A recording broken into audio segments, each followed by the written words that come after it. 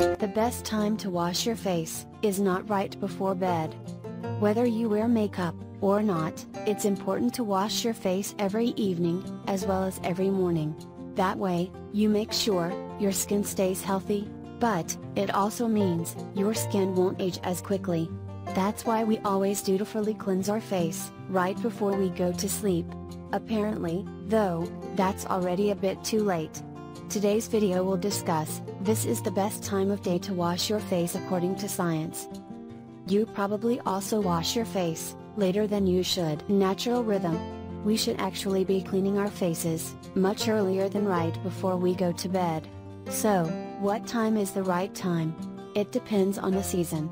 That sounds a little weird, but it's actually quite logical. You should wash your face when the sun goes down. That's because your skin cells, just like your body, work according to the circadian rhythm, an internal clock.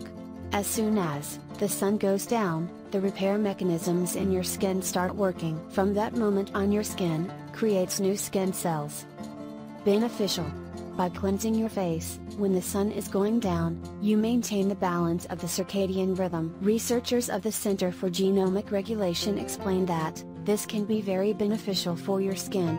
It makes sure, your skin is better protected against damage, from the outside, and it also slows down, the aging process of your skin. Night cream. Your night cream will work much better as well, when you cleanse your face earlier in the evening.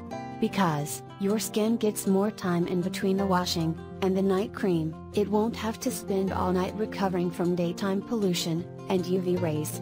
That way, your night cream will get a chance to do its thing. What do you think of this important information? Let me know in the comment section below.